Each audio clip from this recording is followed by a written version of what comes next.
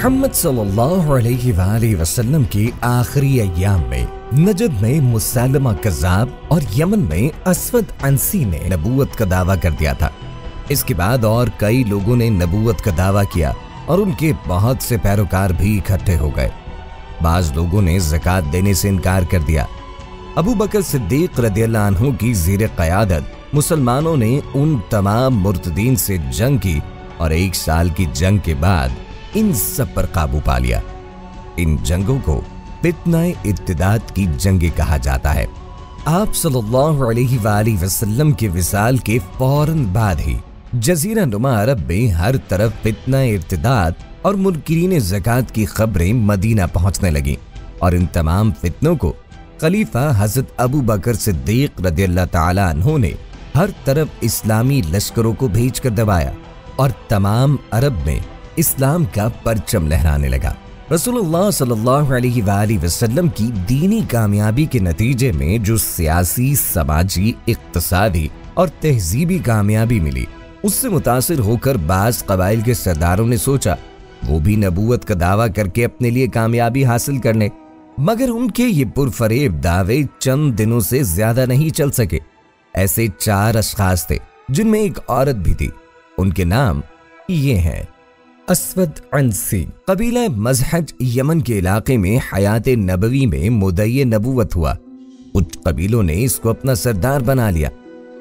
मुसलमा कज्जाब, यमामा के इलाके में अपने कबीले के अलावा बास करीबी कबीलों का नबी बन बैठा, सजाह बिनते हारिस।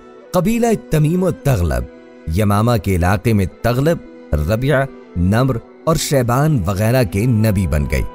वो असलन ईसाई थी। बाद में उसने मुसलमा कज़ाब से शादी करके दोनों का इतिहाद इस्लाम के खिलाफ बना लिया। तुलेहा असदी कबीला बनु असद, बनु फिनरारा, बनु ते और गुतफान के खानदानों का नबी बन बैठा। इसका इलाका मदीना के शुमाल में था।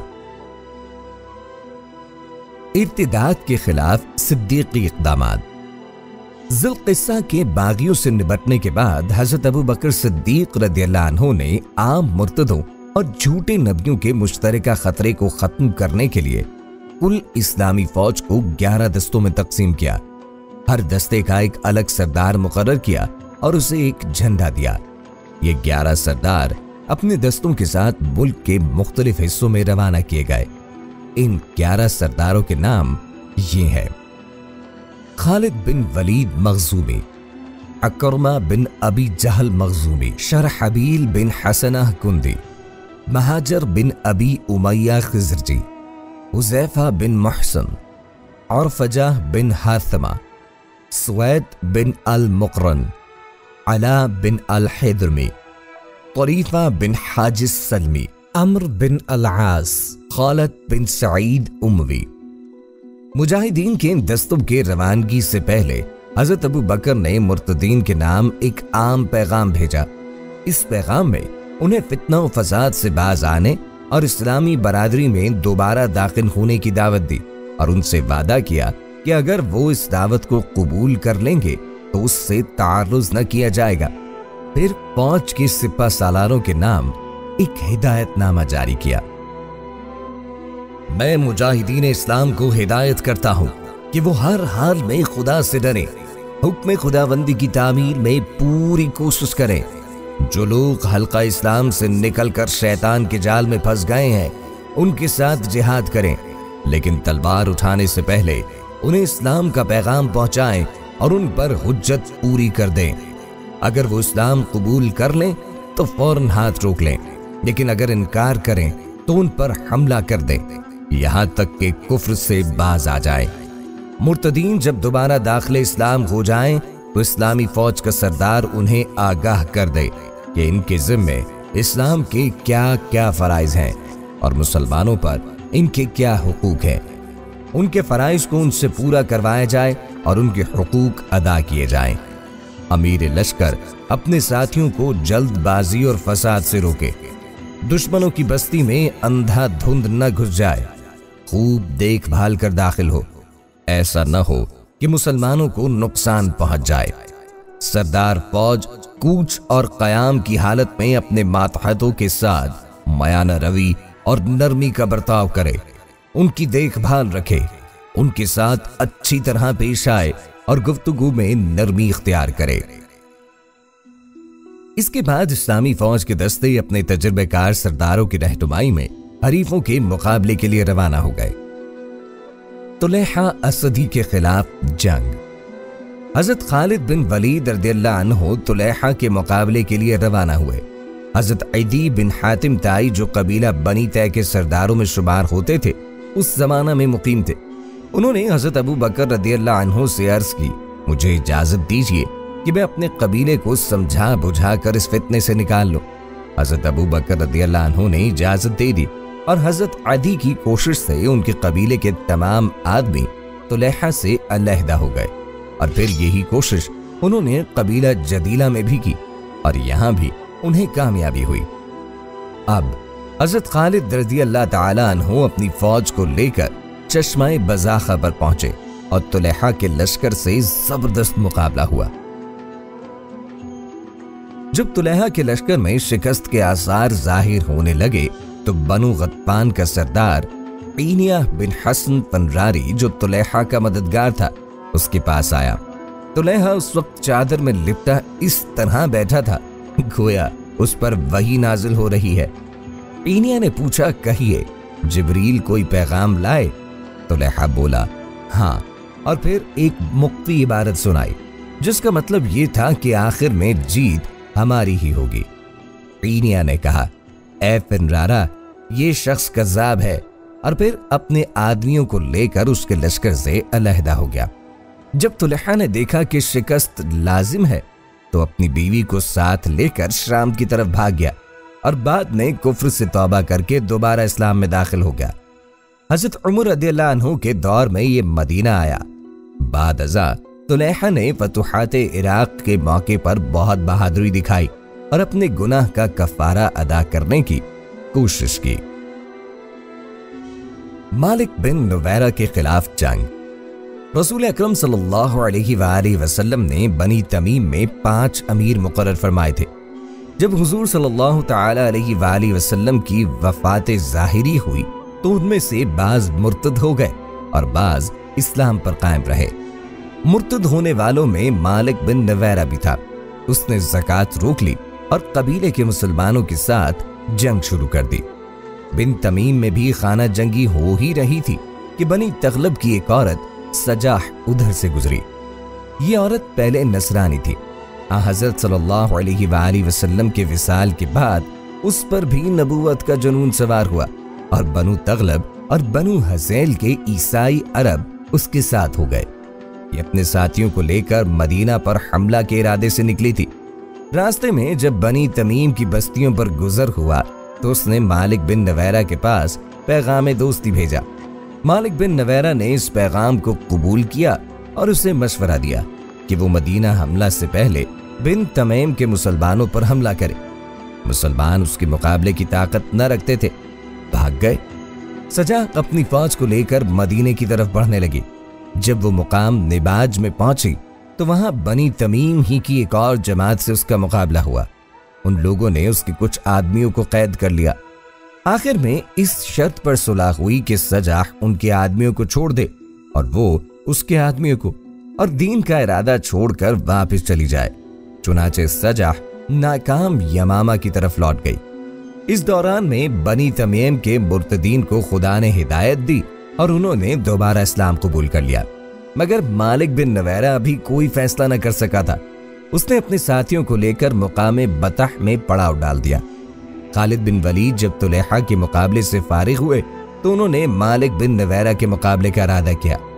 मालिक बिन नवैरा ने अपने साथियों को मुंतसिर कर दिया। खालिद बिन वलीद रदियल्लाहु ने अपने साथियों को भेजकर मालिक बिन नवैरा और उसके साथियों को गिरफ़्तार कर लिया। आपने मालिक बिन नवैरा के कत्ल का हुक्म दिया। और उसकी बीवी से शादी कर ली। बहज मुसलमानों ने हज़रत उमर रदी से कहा कि मालिक बिन नबैरा ने गिरफ्तारी से पहले अपनी बस्ती में अजान दिलवा दी थी।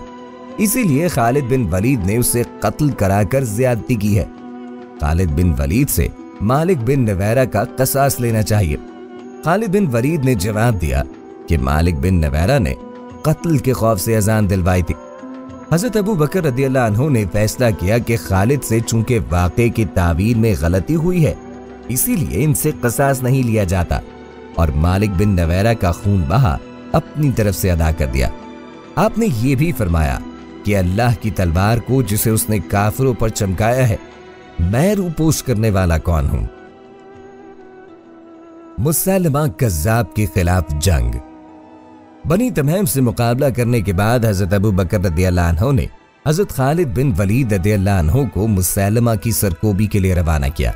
मुसैलमा को जब हज़रत खालिद बिन वलीद के पहुँचने की खबर मिली तो वो अपनी अजीम शान फौज को, जो चालीस हज़ार जवानों पर मुश्तमिल थी, लेकर मुकाबले के लिए निकला।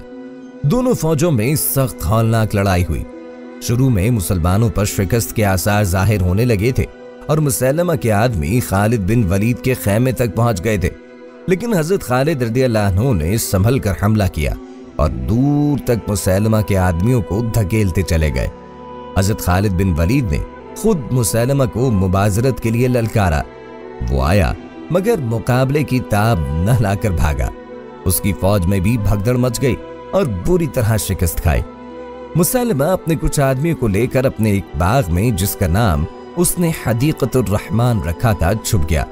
और बाग के दरवाजे बंद करा दिए। एक बहादुर अंसारी हज़रत बरा बिन मालिक ने कहा, मुझे बाग के अंदर फेंक दो।